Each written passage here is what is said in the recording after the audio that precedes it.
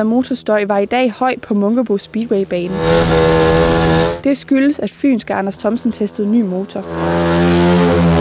Lige nu der tester vi noget grej for at se, om vi, øh, vi kan lige finde det sidste marginaler, der gør, at øh, jeg kan komme på podiet nede i Vojens. Anders Thomsen forsvarede sin titel som dansk mester tilbage i juni, og er nu en af de danske favoritter, der på lørdag skal konkurrere til VM i Speedway i Vojens. Grand Prix, jamen, det er et sindssygt hårdt game. Øh, Det er de 16 bedste kører i hele verden, så og selvfølgelig der kommer der nok til at kunne mærke nogle kriller i maven. øh, Men, men jeg kender banen som en anden buksalom dernede.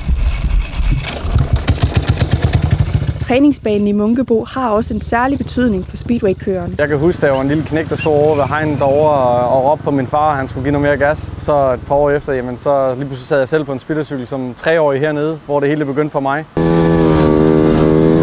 Men for at få en topplacering på lørdag, kræver det, at motoren er i topform. Og det er lige præcis det, som skal sikres i dag. 75 procent af, af toprace, jamen det er faktisk øh, motoren. Og øh, jeg har skiftet tuner, øh, og han, ham arbejder jeg rigtig tæt sammen med. Øh, han er kommet med to nye motorer i dag, øh, som jeg lige ligger og kører på omgang på hernede i Munkebo. For lige at se, om, øh, om det hele kører, som det skal, om, om de trækker rigtigt ud i hjørnerne, og, og det hele spiller. Og træningen på den gamle hjemmebane kommer ikke kun Anders til gode. Jamen, vi er nødt til at kigge på Anders, fordi at, uh, som han kører jo Grand Prix og skal køre på lørdag i Vojens. Så jeg vil nok efter min mening det bedste danske cykelkører, vi har lige nu. Så det er jo ikke skidt at kigge, kigge lidt tricks fra ham. For den lokale amatørkører Henrik Lorentzen er Anders Thomsen en speedway-kører, man kan se op til. Altså, han formår virkelig at, at køre cyklen til det yderste og gøre de ting, der skal gøres. Og, altså virkelig, virkelig ligge i toppen, som han så også gør nu. Jo. Selvfølgelig. Selvfølgelig var.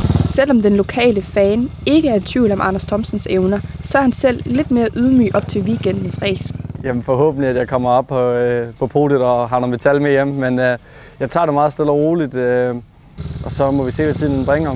Men nu er motoren i hvert fald meldt klar til kamp. Og så øh, den øh, top tune, der er klar til at skal lave en rigtig fed præstation på lørdag.